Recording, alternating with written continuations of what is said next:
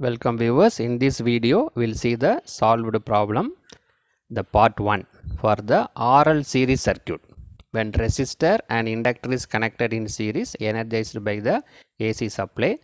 For that circuit, we see the we'll see the solved problem. First, we'll see the problem 1.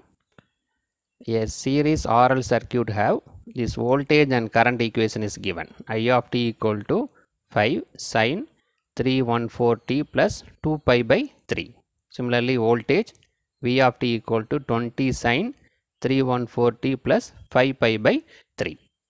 The equation for current and voltage is given.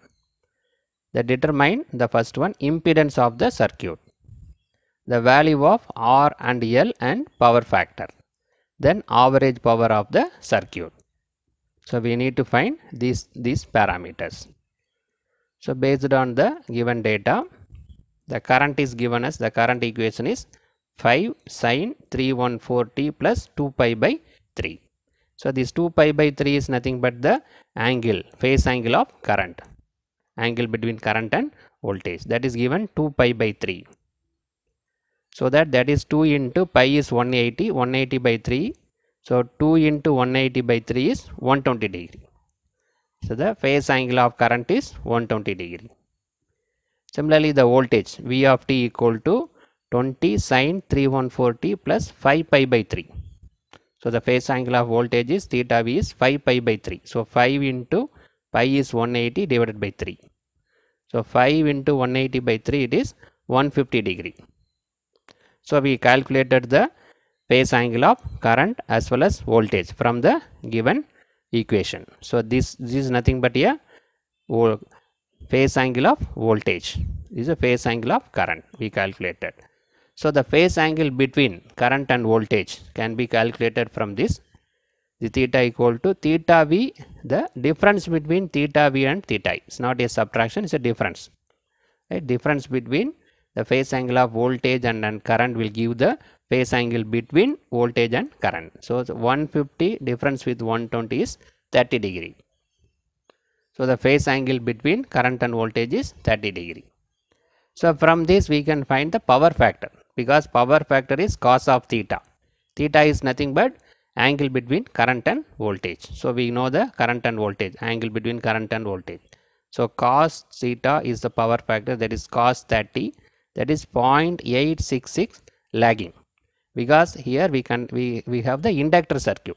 So the inductor circuit always current lags the voltage so that it is given lagging right. So from the voltage equation we calculated the phase angle of current then phase angle of voltage from that we calculated phase angle between current and voltage by using the angle we calculated the power factor.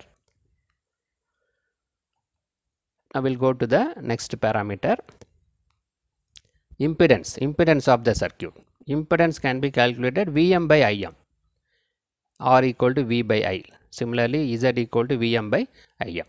So 25 divided by 5 is 4 ohm. This Vm Im is already available from the equation. So this is nothing but V Im. This is Vm. I equal to Im sine. Similarly V equal to Vm. So these two are the maximum value of current and voltage. By using that we calculated Z equal to 4 ohm. Now we can calculate the R and L value.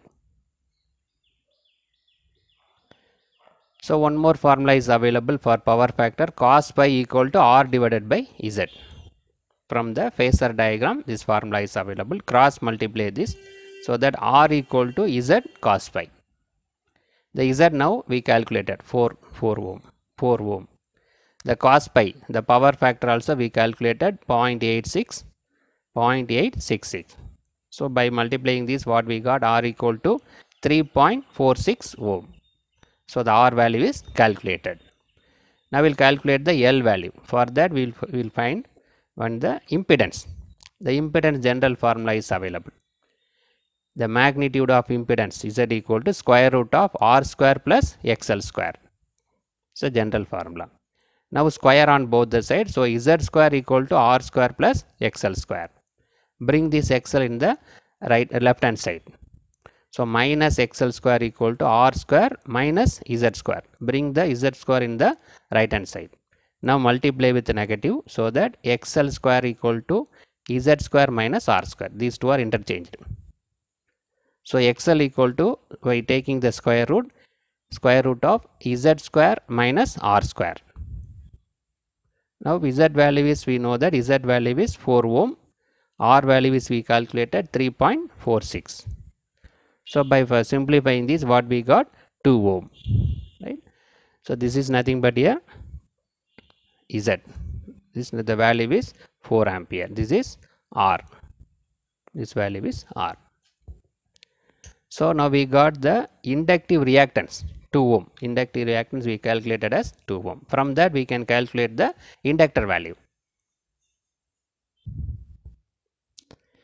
XL equal to 2 ohm we calculated but XL is nothing but omega into L. The general formula is available. So XL equal to 2 omega is 314 from the voltage and current equation the omega we identified as 314 into L. So L we need to find so we bring the 314 in the denominator so 2 divided by 314 is nothing but inductor. By simplifying this what we got 6.37 into 10 to the power minus 3 Henry. So now we calculated inductor value also. So the one more parameter we need to find average power average power is Vi cos pi. Vi is nothing but Vm by root 2. I is nothing but Im by root 2. Right, Vm, Im value is available. These values are not given. So, we calculated V is nothing but Vm by root 2. I is nothing but Im by root 2. Then cos pi power factor is 0.866. So, by simplifying what we got 43.3 watts. The average power is 43.3 watts. So now we calculated all the parameters. Now we'll go to the second problem.